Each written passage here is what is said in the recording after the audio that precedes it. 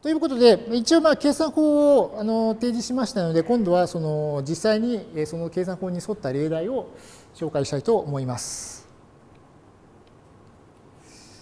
でまあ、今回実際に解いてみる問題はテキストの問題3.59を一部あの解題したものです。でもで問題はこういうものです。え、ー、と A が、えー、5を法として2と合同で6を法として3と合同で7を法として5と法とあの5と5と合同っていう条件を満たす整数 A で、えー、皮膚かつ最小のものを求めなさいという問題であります。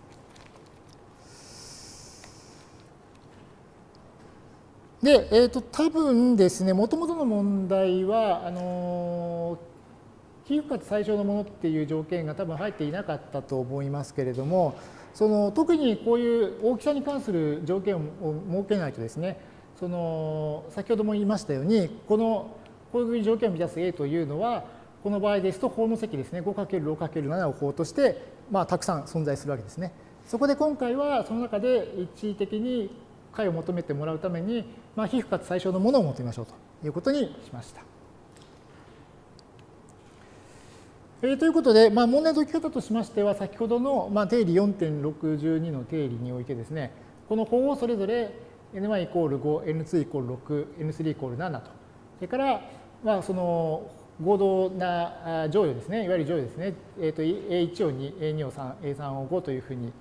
しまして、まあ、これに対して、この、まあ、定理の証明に出てきた E1、2、3というのを求めて、で、えー、でその解であの解の中で、えーと、この法の積ですから210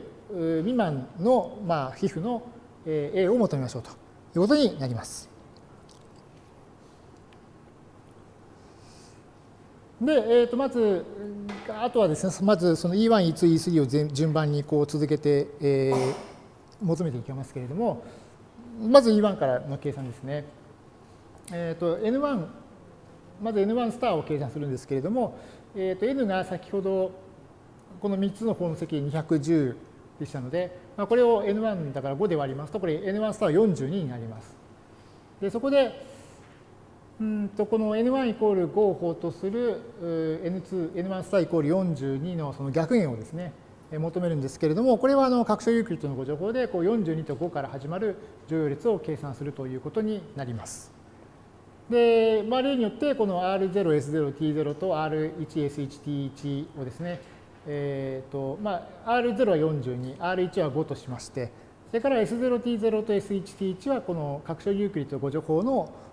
で使いました定義に従ってこう1とか0を定義するわけですね。でまあ、それに従ってあの R2 は R0、R1 で割った乗用ですね。それから R3 は R1 を R2 で割った乗用というふうにして、この RI、SI、TI の組をこう順番に計算していきます。そうしますと、一応ここで R3 が1になりますので、まあ、この時点で、えー、とこういう関係式が分かりますね。マイナス 2×42 プラス 17×5 イコール1という関係式が分かって、でこれはあの合同式で表しますと、えー、とマイナス2がですね、その40あ5を法とする42のあの情報の逆減ですので、まあ、マイナス2を使ってもそのままいいですけれども、えー、まあいいですし、えーまあ、ここでは一応あの合法として合同な数で正の数ということで、まあ、あの3を持ってきました。で、えー、と E1 はこの 3×42 で、まあ、126とあのいうふうに出てきます。え次はあの E2 の計算ですね。で E2 は、えー、と N 割る N2 なんですけれども、210を6で割ってこれ35になりますから、今度はその、えー、と6を法とする N2 スタイコール35の逆減を求めると。いうことで、えーと、拡張ユークリッド誤助法で35と6からですね、あの乗用列を計算していきます。そうしますと、まあ、R の2、R の3と計算したところで、まあ、R の3が出たところで、これ R の3が1になりましたから、まあ、ここでそのマイナス 1×35 プラス 6×6 イコール1というあの関係式が得られまして、でこれはその合同式でいうと、あの6を法とする35の情報の逆円がマイナス1だということになります。マイナス1は6を法とすると、まあ、5とも表すことができますので、ここでは E2 は 5×35 ですね。35はこのギャ、えーとえー、もともとのあの N N2 スターか N2 スターに、えー、と逆円の5をかけて175というふうに出しておきます。で次が E3 の計算ですけれども、えー、と N3, N3 スターは N3 スターはですね N を N3 で割って、えー、30となります。でそこで、えーと、ここでは7を法とするこの30の逆減を求めるということで30と7からですねあの拡張ゆっくりとご情報をまた続けていきます。でそうしますとこの3回目の R3 のところが1になりますのででここからその、えー、とマイナス 3×30 プラス 13×7 イコール1となりましてでこれは合同式で表しますと、まあ、7を法とする30の情報の逆円はマイナス3となります。でマイナス3はですね7を法とすると4とも合同ですのでこの E3 としては 4×30 で120というふうに出しておきます。で最後あのこれを使ってですねこの A を求めるんですけれどもそうすると A はあの先ほどあの定理の証明で見ましたように A11 プラス A22 プラス A323 ですので、まあ、これを、えー、と計算すると、まあ、1377と出てくるわけですけれども、まあ、実際にはそのこのもともとの連立線形合同式を満たす A というのは、えー、とこの1377と210を法として合同な数全部ってことになりますね。で今回はその中で特に、えー、と皮膚で最小のものを求めましょうということでしたので、えー、A は117と出てきます。で実際に一応 A の検算 A が正しいかどうかって検算してみますと、えー、117をあの5で割った余りはあ2とそれから6で割った余りが3とそれから7で割った余りが5と出てきますのでえー、確かにもともとの線形合同式を連立線形合同式を満たすということで、今回求める例は117ということになります。